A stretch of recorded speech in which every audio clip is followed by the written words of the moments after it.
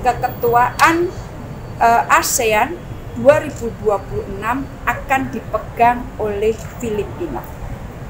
Dan ASEAN berkomitmen untuk melanjutkan bantuan kemanusiaan. Di dalam pertemuan tadi, para pemimpin juga sangat mengapresiasi upaya ketua Indonesia dalam meningkatkan atau melanjutkan humanitarian assistance karena untuk bantuan kemanusiaan terjadi kemajuan yang semula hanya harus dilakukan melalui kanal dari uh, eh, SEC maka sekarang AHA Center sudah dapat melakukan uh, bantuan kemanusiaan ke pihak-pihak yang memerlukan.